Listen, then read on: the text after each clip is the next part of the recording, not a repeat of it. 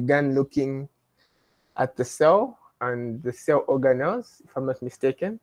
Then today I'm supposed to come in and look at a very detailed look at of the cell membrane, its function, and the transport across the cell membrane. Okay, let me just share a few slides.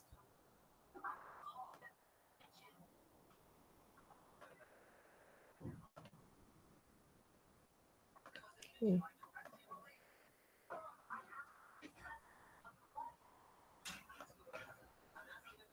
Okay, are we able to see what's on my screen?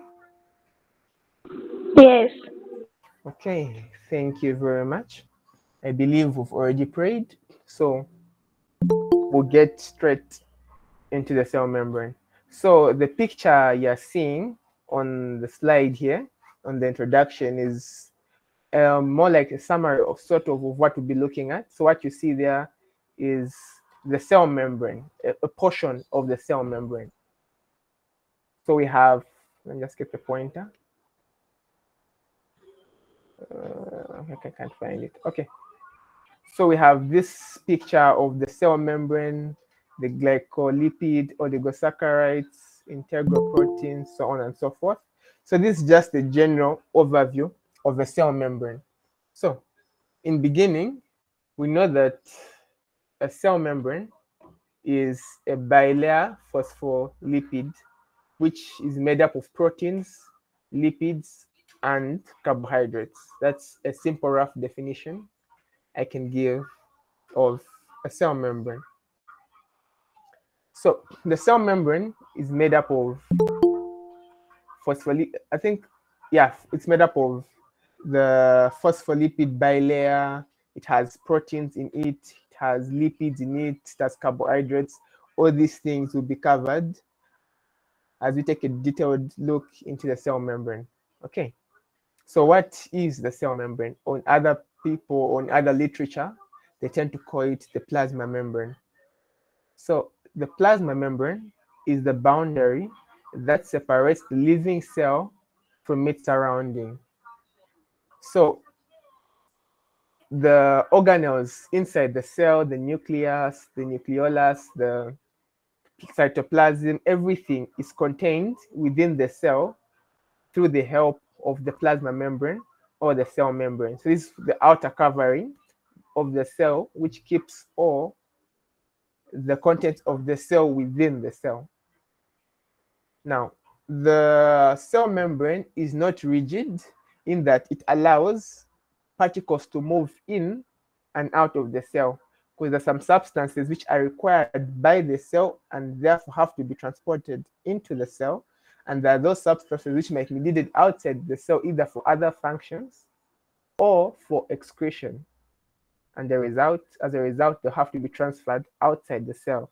So the plasma membrane exhibits selective permeability, which simply entails that it allows some substances to cross it more easily than others. So substances can cross, but the, the rate at which they cross the particular cell membrane differs from substance to substance. So that's the rough introduction I can give on the plasma membrane. And I hope I'm not moving too quickly. hope we're all moving at the same pace. Yeah, so that's that about the plasma membrane. Now, the, the model of the plasma membrane that has been globally accepted now is the fluid mosaic model, which states that the cell membrane has fluid components and mosaic components. Now, uh, the most abundant lipids in the plasma membrane are the phospholipids. Now, this phospholipid structure of the entire uh, cell membrane.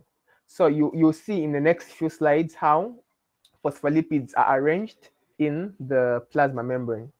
Now, let me quickly go to, okay. I'm sure you can see the slide here. Is there a clearer picture?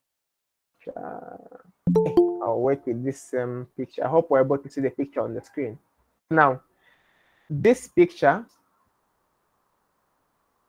simply shows a section of a portion of the cell membrane.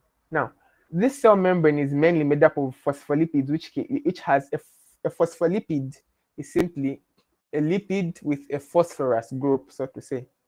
So these phospholipids are amphiphatic. Being amphiphatic simply entails that they exhibit both hydrophilic and hydrophobic properties.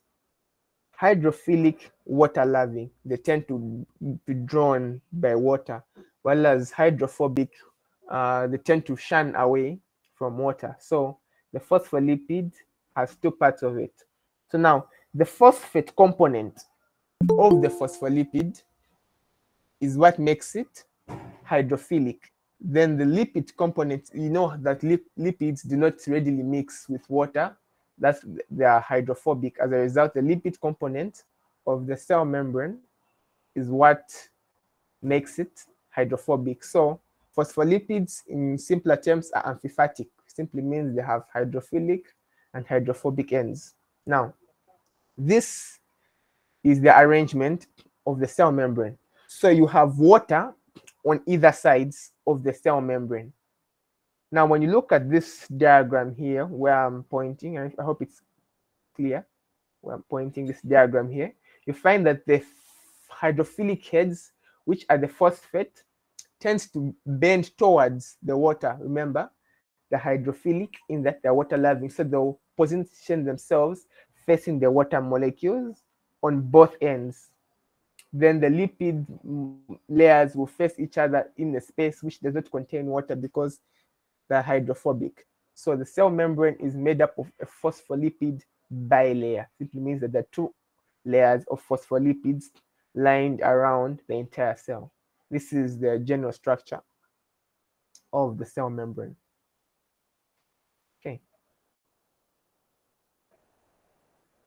This is equally just another diagram illustrating the phospholipid layer of the cell membrane with this phosphate component here and the lipid in the middle there. We have the lipid there and the phosphate on top there. The phosphate hydrophilic, hence it will be facing towards where the water is, and the phobic ends will face towards each other. That's the phospholipid bilayer. Now, the phospholipids in the plasma membrane can move within the bilayer. So even as they are in the bilayer, it doesn't entail that they'll be just fixed at that particular point for their entire lifespan, or so to say. So there is movement in the phospholipids, which the, the, we have the lateral movement, excuse me, the lateral movement as shown here, which happens 10 to the 7 times per second. So lateral movement is always occurring.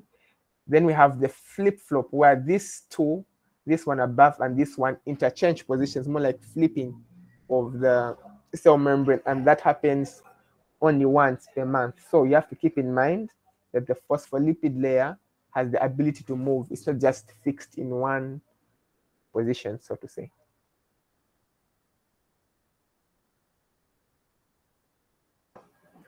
Um, remember that the the cells are found in water and water is normally moving. It passes through blood vessels blood this blood that blood this blood that. So an example of uh, a cell membrane i can give is that of the cell membrane of a red blood cell. We know what a red blood cell is i'm sure by now we know what a red blood cell is which carries oxygen which is found in oxygenated blood carries oxygen using hemoglobin, so on and so forth, that will be covered in, in the near future. But my main focus here is on the cell membrane of that red blood cell. Now, the red blood cell, as it's flowing in blood, remember, there'll be a point where it will have to pass through very narrow capillaries, very narrow venules, and it has to be able to move to prevent bursting. That's why you find that the, the cell membrane is able to move. So now, as temperature cools, the membranes tend to switch from a fluid state to a solid state. Now, the rate at which that happens solely depends on the type of lipids found in that particular cell membrane. So as temperatures increase, it's more fluid. When the temperature cools, it becomes more to a solid state. That's the nature of the cell membrane. This is an example. So uh, membrane fluidity is the ability of the cell membrane to move, as you can see in this first diagram to your left of your screen. You can see there's free movement between the lipid layer, the lipid component of the phospholipid. So membranes which are rich in unsaturated fatty acids are able to move more than those with saturated fatty acids, as illustrated in the two diagrams to your left is the unsaturated, and you can see there's a there's much more movement as compared to the saturated hydrocarbon tails on the right side of the screen. Okay, I hope I'm not too maybe other questions before we move any further. I hope I'm not moving too quickly. Are there any questions or we can proceed?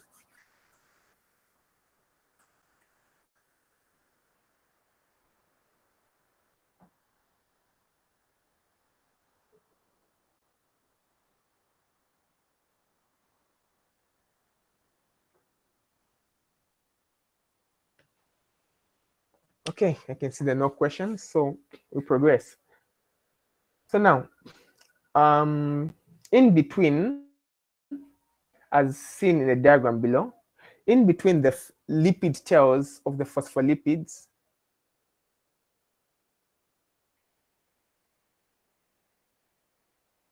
tends to be found cholesterol. Now, now this cholesterol has an effect on the fluidity of the cell membrane, its ability to move. So as the temperature is warm, the cholesterol restrains the movement of the phospholipids.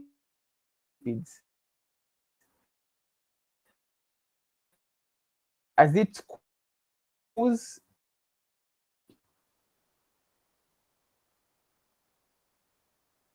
the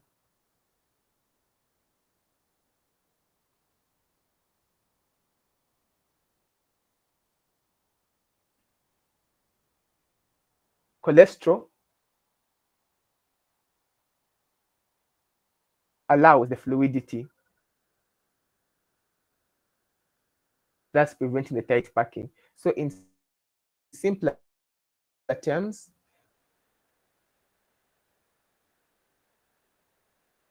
when temperatures are warm,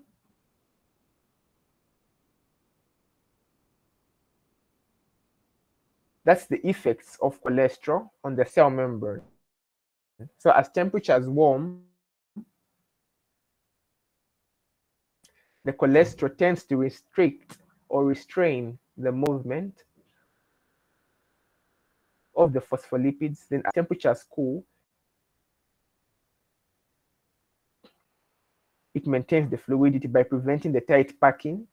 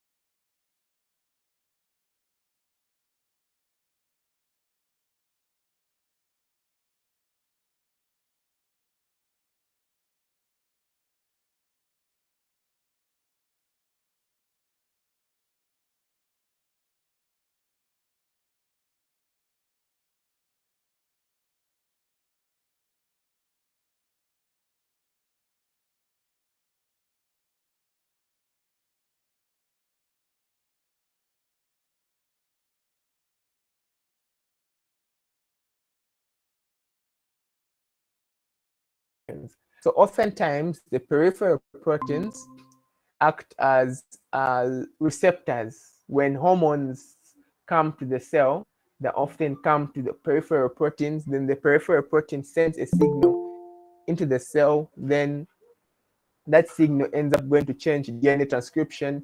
Proteins, proteins are made that leads to the formation of uh, changes in the body by making hormones, enzymes, and whatnot, and changes occur in the body. So integral protein or peripheral proteins, sorry, so tend to function as receptors.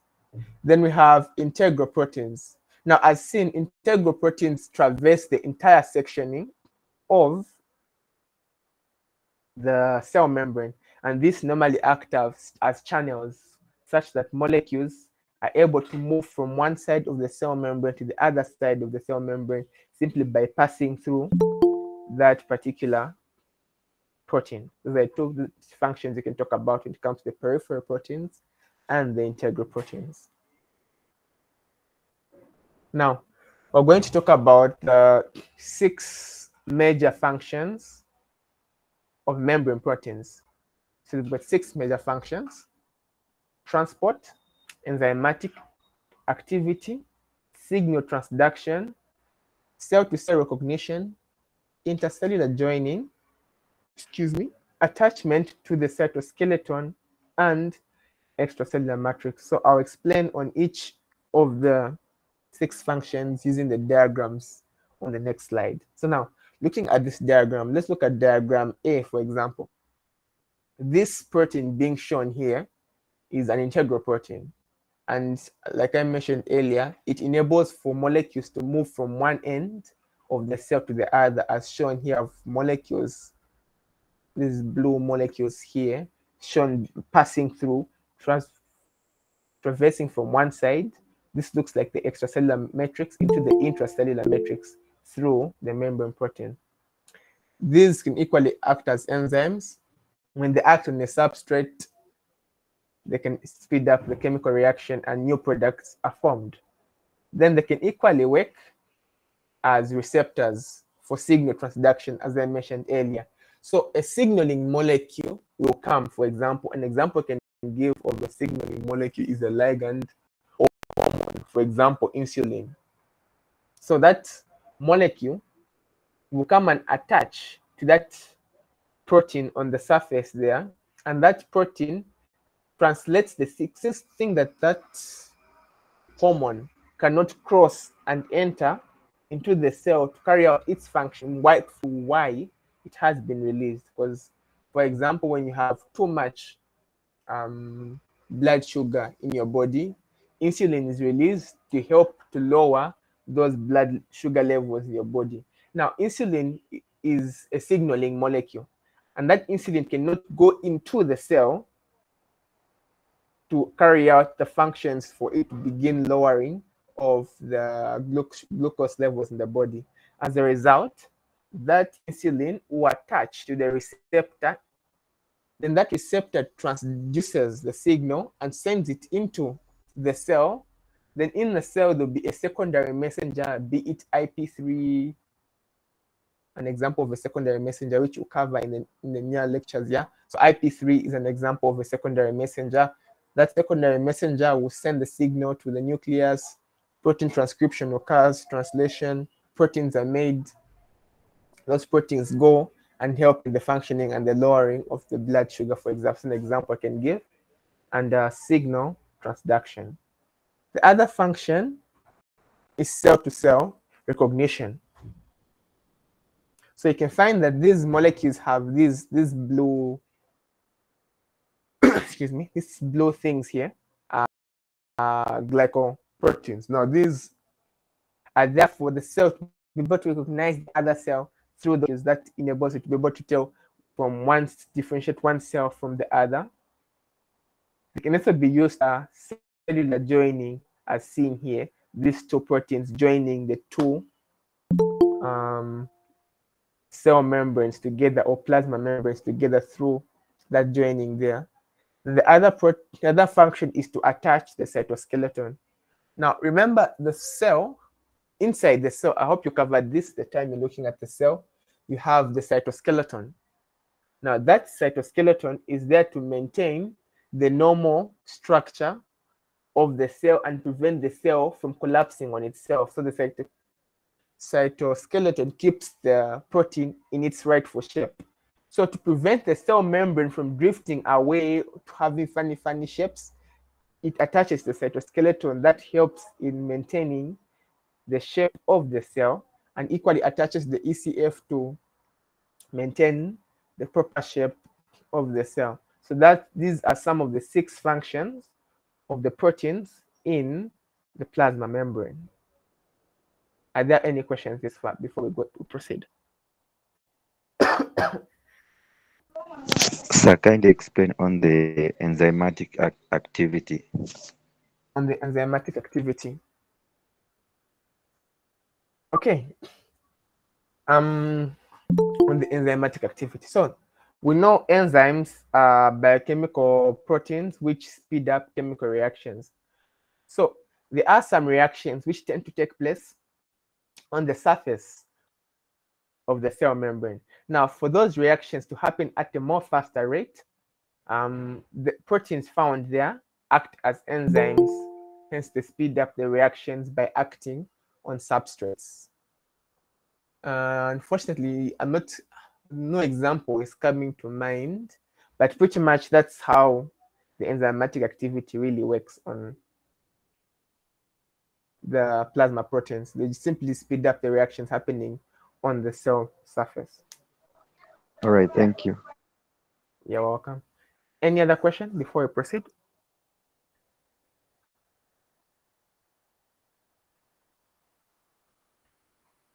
Okay, so I'll check the silence that we can proceed.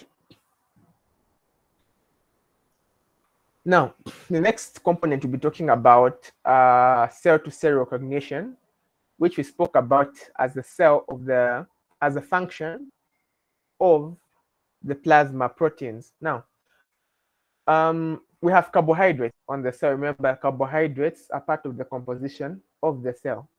Now, cells recognize each other by binding to surface molecules.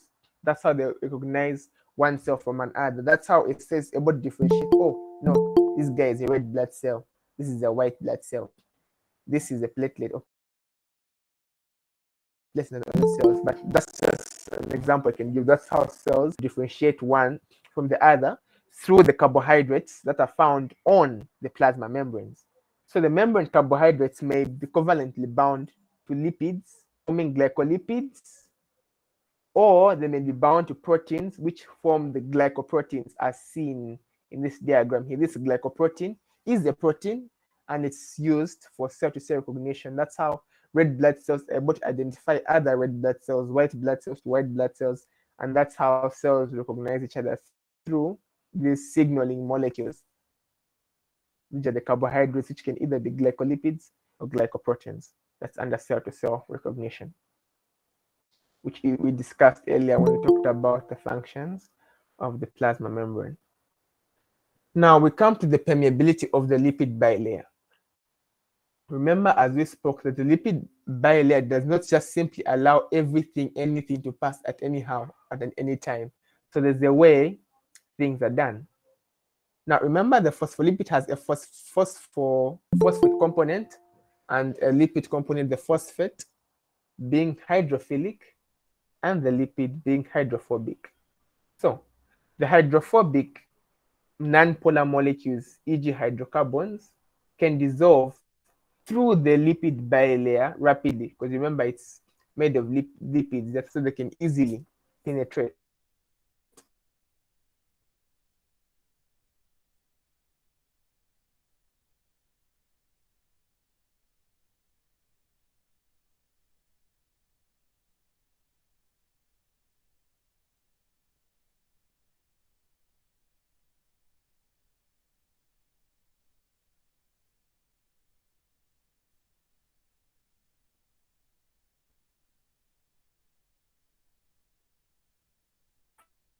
For transport to occur, for molecules to move from one side of the cell membrane to the other side. So for lipids, uh, since the, the cell membrane has, is made of phospholipids, lipids just easily pass through like like like to like, so just easily pass through this phospholipid layer. But for those which cannot easily pass through, such as sugars and those other polar or hydrophilic substances, there are special routes in which they pass through. So there are three ways they can pass through, either using channel proteins, aquaporins, or carrier proteins. So channel proteins, these have are simply hydrophilic channels that allow ions to pass through them like more like a tunnel. An example is this diagram on A above here. This is a channel protein. This is allowing ions to pass through. Another example are aquaporins. Aquaporins are simply channel proteins except they facilitate the passage of water molecules. So aquaporins are simply a specialized channel protein for water molecules. Then the other diagram here, B, that's a carrier protein, of which now carrier proteins transport uh, normally change shape shape as molecules are being passed through. An example is shown here. So uh, in the first instance, the channel is opened upwards. So when a molecule goes in and binds to this component here in the channel protein, the channel protein reconfigures itself and opens in the inside, thus allowing the solute to pass through. So that's how uh, transport occurs through the cell membrane, either through channel proteins, aquaporins, carrier protein, or directly just through the cell membrane. That's been the case for lipids. That's the transport of the cell membrane.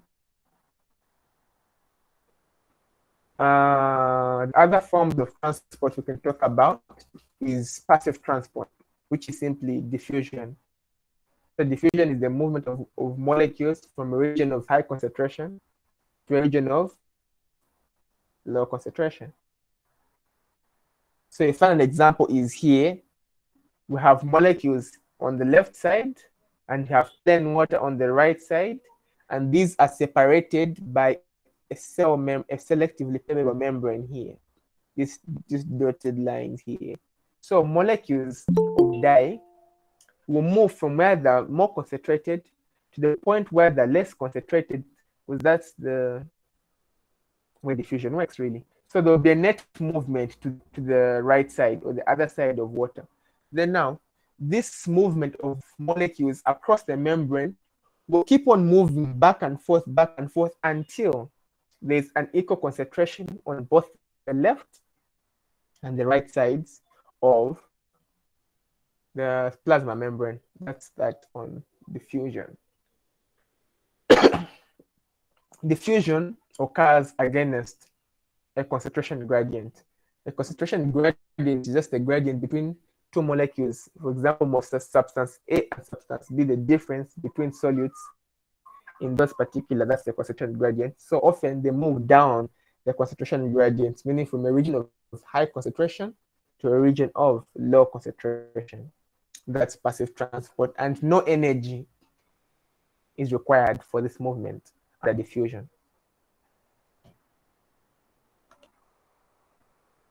Okay. Then the other movement we can talk about is osmosis. Now, osmosis is the diffusion of water across a selectively permeable membrane. Remember, diffusion, molecules are moving. Osmosis, this time, it's the water moving. So in this case, water will diffuse across a membrane from a region of low solute concentration to a region of higher solute concentration. I think we have a diagram somewhere. Perfect. We have this diagram here. So we have these two tubes here separated by a selectively permeable membrane. We have water on both sides, but we have a difference in concentration of sugar. So to the left, we have a lower concentration. To the right, we have a higher concentration.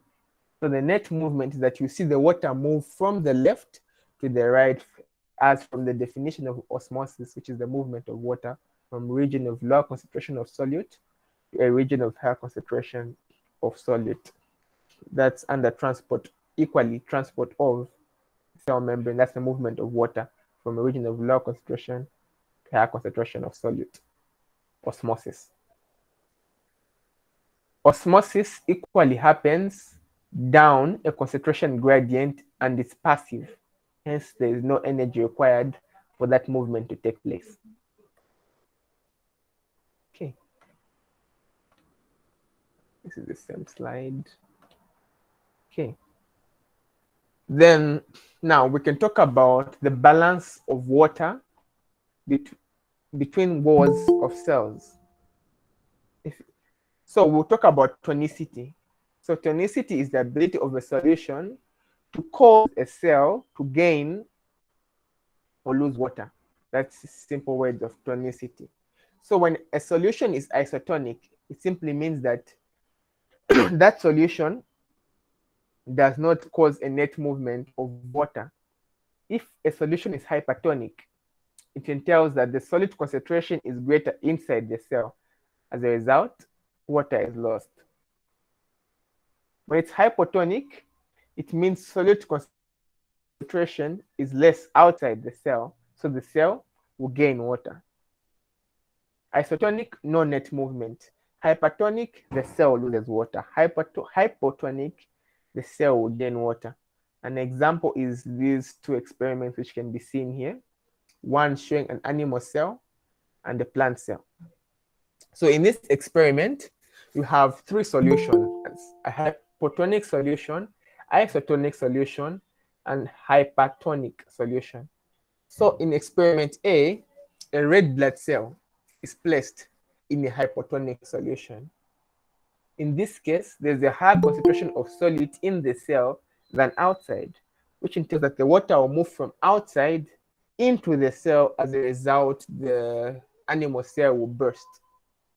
But in an isotonic solution, you find that there'll be no net, there'll be no net movement really because the solution inside the cell and outside the cell of solutes are the same.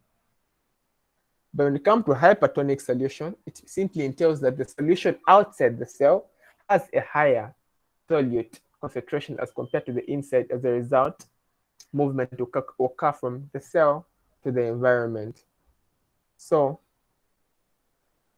when when it enters and bursts, it says it's been lysed. When nothing changes, it's normal. when it reduces size, it's been shriveled. That's for the animal cell. The same concept applied in a plant cell. The only difference is that a plant cell has a cell wall, so it cannot burst or shrivel, but what only changes are the size of the cytoplasm. So in in no in hypotonic, it becomes turgid, it somehow bulges. Then isotonic solution is flaccid, no changes. And hypotonic, it's plasmolysed, meaning water has been lost to the environment. That's that about tonicity, hypertonic, hypotonic, and hypotonic, and their relation to animal and plant cells. Okay, hope I'm not too fast. Uh, I already mentioned that. The other mode of transport is facilitated diffusion, which is aided by proteins. Remember, we already talked about this. This include the channel proteins, the aquaporins, and the ion channels. That's how facilitated diffusion occurs. And equally, this facilitated diffusion is passive transport in that no energy is expended for that movement to occur and normally works along the concentration gradient from high concentration to a lower concentration. No need for energy, no need for it. So the other mode of transport we can talk about now is active transport. Normally, active transport occurs against the concentration gradient. So meaning solute to be moving from low concentration to high concentration. And for that to occur, normally energy has to be expended in the form of ATP. So that's how active transport occurs. So an example I can, which is given is this one here. We have this cell membrane here. Sorry, we have this cell membrane. We have this cell membrane here. cell membrane, phospholipids, lipids there, phosphate lipids. This is now the channel, channel protein. Now, when you look at this, we have the cytoplasm here and the ECF or the extracellular fluid above. Now, when you look at the concentration of sodium, sodium has a higher concentration in the ECF and has a lower concentration in the cytoplasm.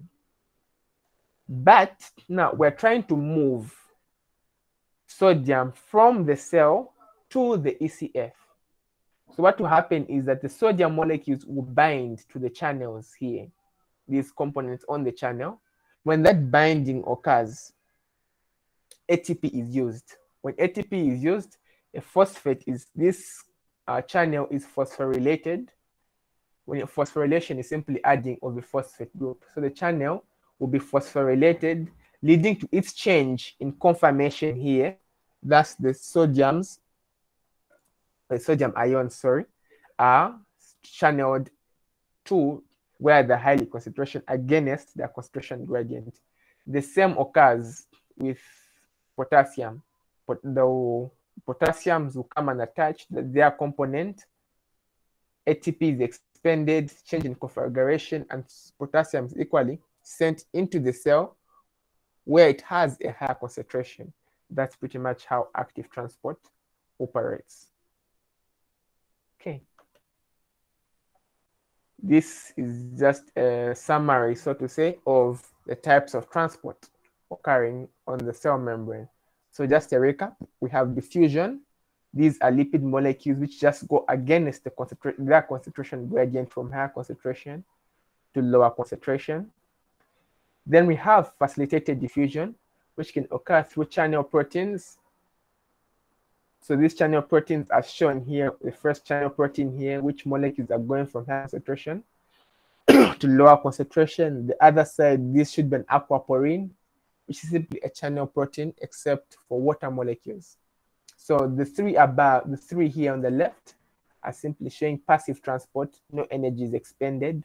The other form is active transport. As you can see, we're transporting this to diamond, diamond-like things from where they're lowly concentrated to where they're highly concentration, concentrated. As a result, ATP is required for that transport to occur.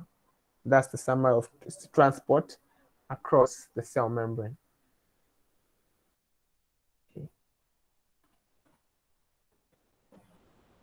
Okay.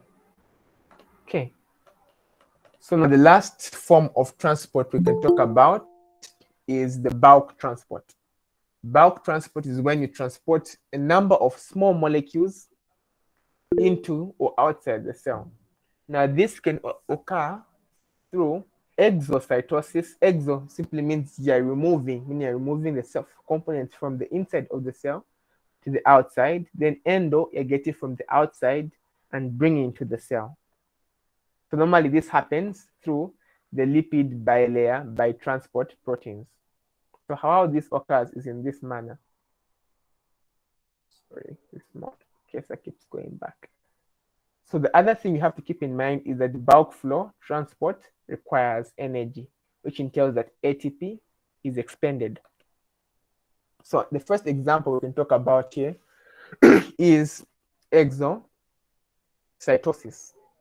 in cytosis, there's a transport vesicle that migrates the trans the membrane, fuses with it, and it's released. So, exocytosis, we're removing what's inside the cell from the inside, we're taking it outside.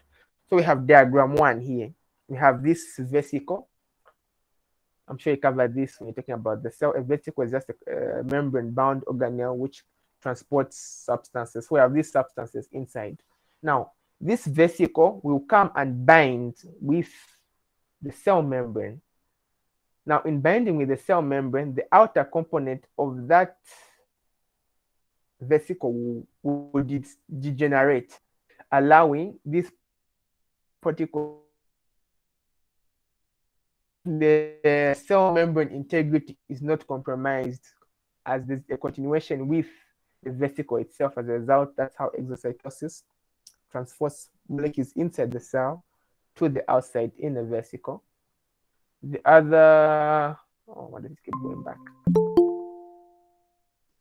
The other form is endocytosis, of which the cell is taken from the outside and bringing inside by forming vesicles from the plasma membrane. So there are three types of endocytosis.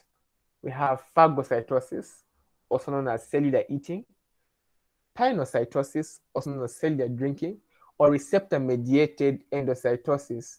This normally happens when it says when whenever you just see receptor-mediated, meaning something has to bind to that receptor to trigger the vesicle to be formed and the cell will be able to get what's outside and bring into the cell. The example I can give is this one. So we have a food particle. Now this first diagram is showing phagocytosis. We have a food particle there. So what happens is that there'll be an invagination. The cell membrane will form around that food molecule as seen here. The, mole the membrane is pointing towards trying to form a circle around this food molecule. Once that occurs, a vesicle is formed. And once the vesicle is formed, the food has been transported into the cell. So the process in forming that vesicle, we have this this called this point called the pseudopodium.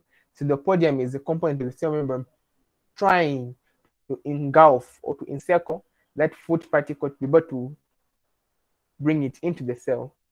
Same happens with pinocytosis, molecules, there's invagination, then the cell membrane pinches in some way and the vesicle is formed and that vesicle is transported to where those parts are required. And the last but not the least is the one below here, which is receptor-mediated endocytosis. So whenever I just share receptor-mediated, meaning there'll be receptors, these Ys are receptors on the surface of the cell membrane. So when a ligand comes, this ligand can be a hormone, a, a protein, or something of that sort, to come and bind to that receptor. When binding occurs, that causes the